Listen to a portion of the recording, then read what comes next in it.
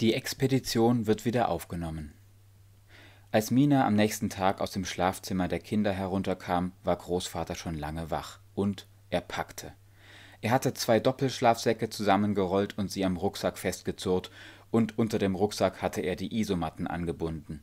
Gunilla stand daneben und war besorgt. Es gefällt mir nicht, dass ihr auf diese Wanderung geht, sagte sie. Und ich mache mir Sorgen, dass da oben auf dem Berg das Handy nicht funktioniert. Stell dir vor, es passiert was und ihr könnt nicht anrufen und ihr wollt drei Tage wegbleiben. Es passiert nichts, glaube ich, sagte Großvater. Glaubst du, ja, aber wenn doch. Sie frühstückten und es war ziemlich still am Tisch. Als sie fertig waren, sollte draußen auf der Treppe eine Konferenz gehalten werden. Konferenz bedeutete, dass Großvater über alles berichtete, was geschehen würde und was man tun wollte, und dann sollten die Kinder fragen und man würde gemeinsam beschließen. Mischa lag auf dem Boden, den Kopf platt an die Erde gedrückt und die Ohren steil aufgerichtet, und man konnte sehen, dass sie mächtig gespannt war. Heute, sagte Großvater, beginnen wir eine Expedition, die drei Tage dauern wird, glaube ich. Wir können sie in zwei machen, aber ich glaube, das wird zu knapp. Wir werden den Dreihöhlenberg bezwingen und wir werden es gemeinsam tun. Was bedeutet bezwingen? fragte Markus. Auf die Spitze hochklettern, sagte Ia. Und wer soll mit? fragte Markus und sah beunruhigt aus. Großvater blickte sich um, holte tief Luft, dann sagte er Ja, zuallererst Mina, denn eigentlich machen wir diese ganze Expedition ihretwegen. Und dann Moa, die es hoffentlich schafft, aber wir machen ja Pausen und ruhen uns aus also wird es wohl gut gehen. Und dann Markus und ihr.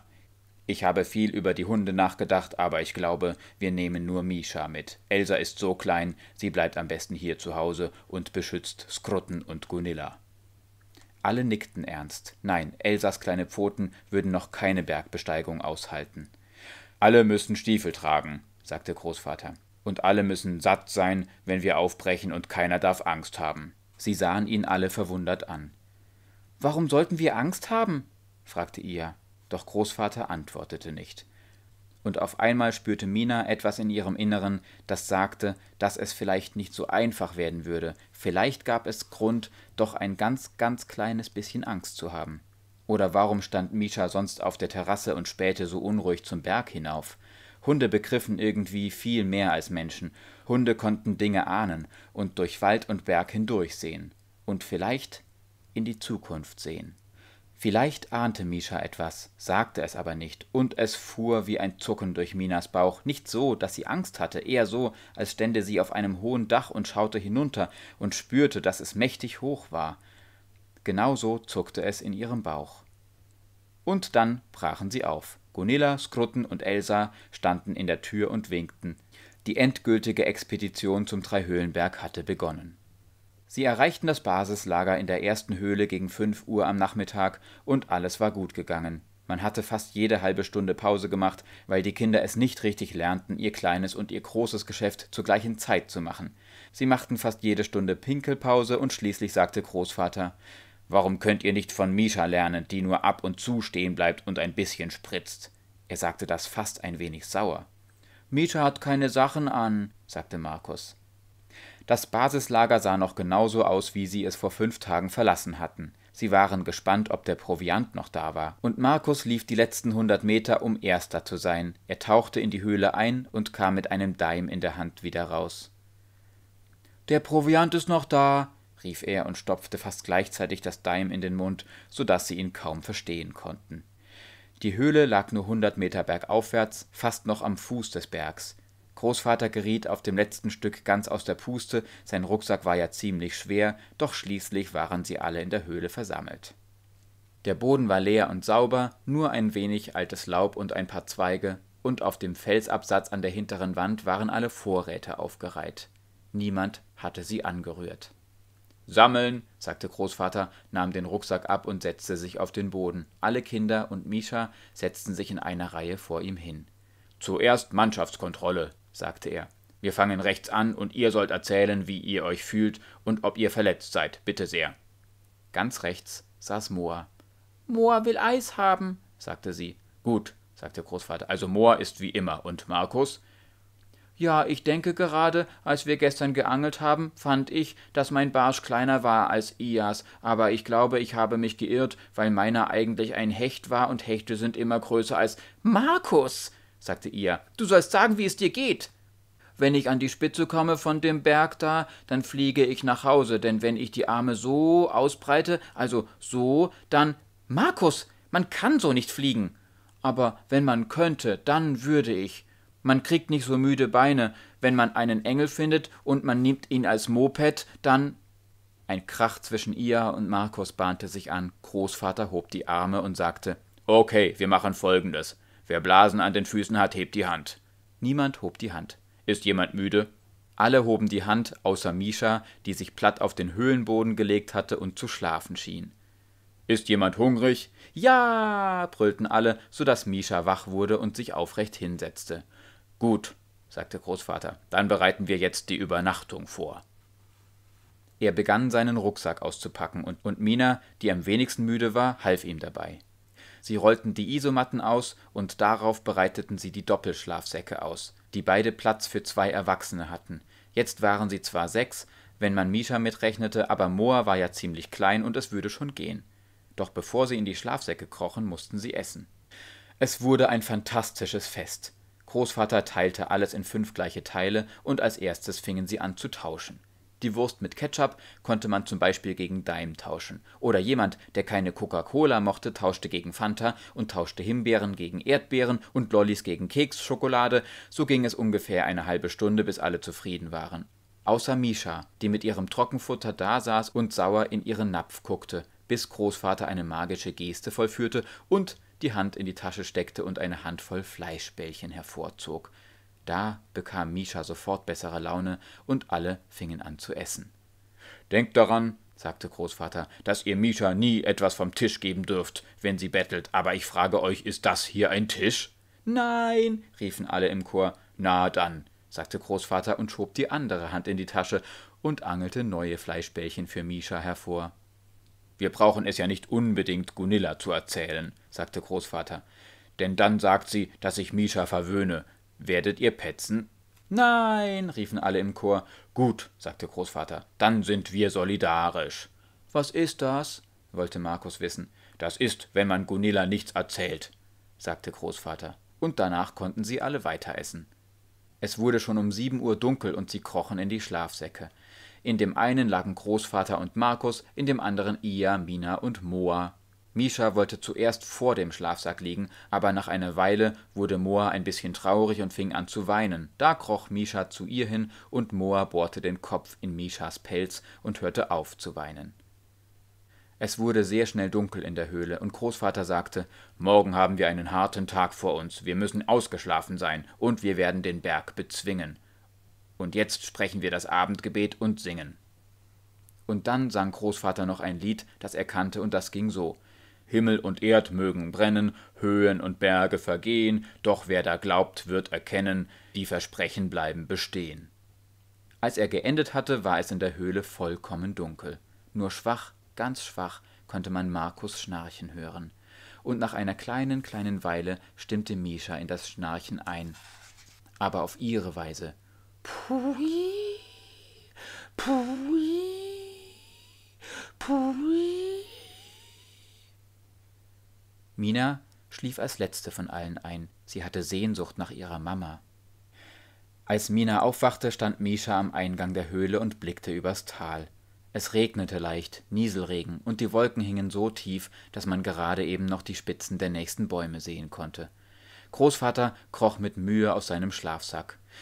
Kein tolles Wetter, sagte Markus aus der Tiefe des Schlafsacks. Wollen wir wirklich heute den Berg besteigen? Unbedingt, sagte Ia. Unbedingt, sagte Moa.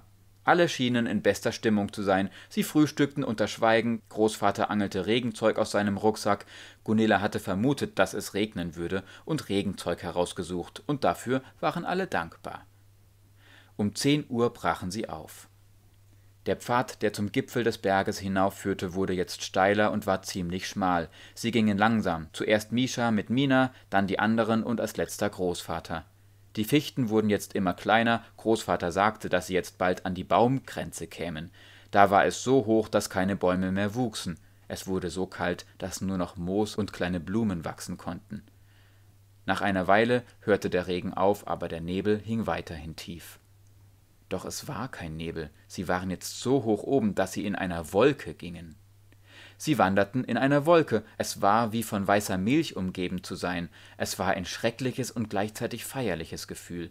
Alle wussten, dass sie jetzt ziemlich hoch oben waren, aber man konnte nicht am Berghang nach unten schauen. Wenn wir über die Wolke kommen, sagte Markus, können wir dann Engel sehen? Warten wir ab, sagte Großvater. Bald wissen wir es. Kann man sich dann einen Engel leihen? Warum willst du das? fragte Großvater keuchend. Ja, dann könnte man den Engel als Moped nehmen und sich auf seinen Rücken setzen, und er flattert mit einem runter, und dann ist es nicht so anstrengend, sagte Markus. Hör auf, von Engel zu quatschen, Markus, sagte ihr. Es gibt keine Engel, jedenfalls nicht hier, du bist bloß faul, und mit dir will sowieso kein Engel fliegen. Ich glaube, ich kann einen Engel sehen, sagte Markus, beinahe jedenfalls. Kannst du, sagte ihr, aber da meinte Großvater, dass sie jetzt aufhören sollten, sich zu zanken, denn es war auch schon so anstrengend genug. Und da plötzlich kamen sie aus der Wolke heraus. Sie kamen oberhalb der Wolke heraus und sahen den Dreihöhlenberg ganz klar und der Gipfel war jetzt sehr nah. Unter ihnen lag die Wolke wie ein weißes Meer. Ja, sie waren wirklich durch die Wolke gegangen und oberhalb davon herausgekommen, aber es schien keine Sonne, über ihnen waren wieder Wolken, doch durch die niedrigste Wolke waren sie hindurchgegangen. Der Gipfel lag dreihundert Meter entfernt, und ein Stück unterhalb der Spitze des Berges konnten sie klar und deutlich die beiden Höhlen erkennen. Es war, als ob zwei Augen sie ansähen. Es war beinahe zum Fürchten. Sollen wir dahin? fragte Mina. Genau dahin, erwiderte Großvater. Und wenn wir da sind, dann verstehst du, warum du nie mehr im Leben vor dem grünen Krokodil Angst haben brauchst. Weiß ich es dann? sagte Mina. Warum weiß ich es? Darum, sagte Großvater. Und dann machte er sich auf das letzte Wegstück bis zum Gipfel. Vorher war Großvater als letzter gegangen, das musste er tun als ältester, hatte er gesagt, damit keines der Kinder zurückblieb. Aber jetzt ging er vorneweg, und es hatte den Anschein, als hätte er es plötzlich besonders eilig. Er hüpfte fast bis zu der letzten steilen Felswand. Der Rucksack war groß und schwer, und man konnte Großvater von hinten kaum sehen, so groß war der Rucksack, und so kletterte er das letzte Stück zu den beiden Höhlen hinauf. Die Wolke, durch die sie aufgestiegen waren, lag immer noch unter ihren Füßen, und die Wolke über ihnen war auch noch da. Doch dazwischen konnten sie vollkommen klar die Spitze des Dreihöhlenbergs sehen. Und es war ganz still, es regnete nicht mehr. Großvater kletterte bergauf, sehr schnell, als wäre er ungeduldig. Zu ihren Füßen lag die Wolke wie ein großes Milchmeer, und vor ihnen war der Gipfel des Bergs mit den beiden Höhlen, die wie zwei Augen auf sie herabstarrten. Und genau da als Großvater nur noch ein paar Meter vom Höhleneingang entfernt war, geschah das Furchtbare. Vielleicht waren die Steine schlüpfrig geworden vom Regen, oder Großvater hatte es zu eilig gehabt, zur Höhle zu gelangen. Jedenfalls rutschte plötzlich sein Fuß ab, er schwankte, die Kinder sahen, wie er taumelte und wild mit den Armen durch die Luft ruderte, um das Gleichgewicht wiederzugewinnen, und dann fiel er. Er kullerte den steilen Abhang hinunter, im Fallen riß er Steine mit, es krachte unschön in der Stille, und dann landete er mit einem dumpfen Plumps in einer Felsspalte. Sie hörten, wie er ein bisschen stöhnte, und einen Augenblick glaubten die Kinder, dass er zu Tode gestürzt wäre. Doch dann sahen sie, wie er sich wand, sein Gesicht war verzerrt, als täte ihm etwas wahnsinnig weh, und dann hörten sie, dass er etwas sagte. Alter Trottel, sagte er wie zu sich selbst, jetzt hast du dir was Schönes eingebrockt, du Supertrottel. Und sie wussten, dass eine Katastrophe passiert war. Markus wagte sich als erster zu ihm hin. Großvater lag ganz still auf der Erde, den Rucksack hatte er noch umgeschnallt, und er sah mit einem etwas komischen Lächeln zu Markus auf, als hätte er starke Schmerzen, als schämte er sich aber auch ein bisschen und möchte sich am liebsten entschuldigen. Wie geht's? fragte Markus.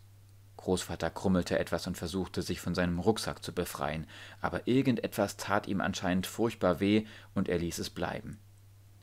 Ich glaube, sagte er, ich habe mir das Bein gebrochen. Ja, bestimmt, ich glaube, ich habe mir tatsächlich das Bein gebrochen. Sollen wir wieder nach Hause gehen? sagte Markus. Großvater versuchte zu lachen, aber es hörte sich so komisch an, überhaupt nicht wie das gewöhnliche, ruhige und ziemlich nette Lachen, das er sonst hatte. Das kann ich wohl nicht, sagte er. Ich wollte, ich könnte es. Was machen wir denn jetzt? fragte Mina, und ihr war anzumerken, dass sie begriffen hatte, wie schlimm es jetzt um sie alle stand und dass etwas sehr, sehr Schlimmes geschehen war, denn ihre Stimme bebte, als sie diese Frage stellte. Und da, genau da, fing es an zu regnen. Es war nicht der leichte Regen von vorher, es war ein schwerer, richtig unangenehmer Regen, und plötzlich sahen sie, dass es nicht nur Regen war, es war Schneeregen, Regen mit Schnee vermischt, kalt und ekelhaft. Und auf einmal hatten sie alle große Angst. Es war, als hätte Großvater keine Antworten mehr auf all ihre Fragen. Er lag nur da auf der Erde mit verzerrtem Gesicht, als hätte er starke Schmerzen und versuchte, den Rucksack abzustreifen. Opa, sagte Moa und brach in Tränen aus. Was sollten sie tun? Großvater hatte endlich den schweren Rucksack abgeschnallt, lag da auf der Erde, keuchte schwer und schaute zur Höhle hinauf, die er nur um wenige Meter verfehlt hatte. Der Schneeregen fiel immer dichter, sie fühlten sich kalt und elend, sie waren vom Basislager 1 in der ersten Höhle fünf Stunden unterwegs gewesen, und Großvater hatte sich das Bein gebrochen. Was sollten sie bloß tun? Wir müssen da hinauf, sagte Großvater. Wir müssen einander helfen, sonst erfrieren wir, wenn wir nicht in der Höhle Schutz finden. Du kannst aber nicht gehen, sagte Markus und weinte verzweifelt. Wie sollen, wie können wir? Großvater hörte auf zu stöhnen und sah ihn an. Markus, sagte er, stell dir vor, man könnte mit dem Rad an einer Tanne hinauffahren. Kannst du dir das vorstellen? Markus schluchzte nur. Stell es dir vor, sagte Großvater. Stell dir vor, man kann eine Tanne hinauffahren. Ja, dann schafft man es auch da hinauf. Ich kann nicht mit dem Rad fahren und gehen auch nicht, aber ich kann kriechen. Okay? Okay, sagte Markus und hörte auf zu schluchzen. Gut, sagte Großvater, wenn du den Rucksack nimmst, dann helfen Mina und ihr, mir zu kriechen. Und so machten sie sich an den Aufstieg. Hinterher konnten sie sich fast nicht mehr daran erinnern, wie sie es geschafft hatten. Es musste fast eine Stunde gedauert haben, die 25 Meter bis zur Höhle hinaufzukommen. Ia und Mina schleppten Großvater, er ließ die eine Seite schleifen, und man sah ihm an, dass das gebrochene Bein schrecklich wehtat. Er zog es gewissermaßen hinter sich her und murmelte die ganze Zeit vor sich hin, was für ein Idiot er gewesen sei und warum hatte er die Kinder da hineinziehen müssen. Das hatte er jetzt davon.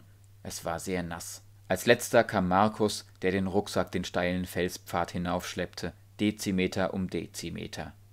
Kämpfen, Markus, sagte Großvater dann und wann, als ob sie nicht alle kämpften, denn das taten sie wirklich. Endlich erreichten sie die Höhle. Sie war größer als die erste Höhle, die jetzt das Basislager 1 war, aber der eigentliche Höhleneingang war kleiner, ungefähr einen Meter hoch.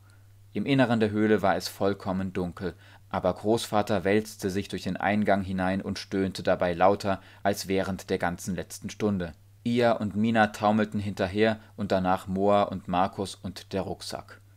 Misha trottete jetzt als letzte am Schluss. Ihr Fell war völlig durchnässt.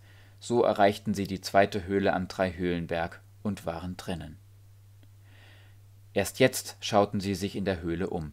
Es war so dunkel, dass sie fast nichts mehr sehen konnten, und sie erwarteten ja auch nicht irgendetwas zu sehen, sie wussten ja, dass die Höhle leer war, da waren sie sich ganz sicher. Doch irgendetwas war, etwas Komisches.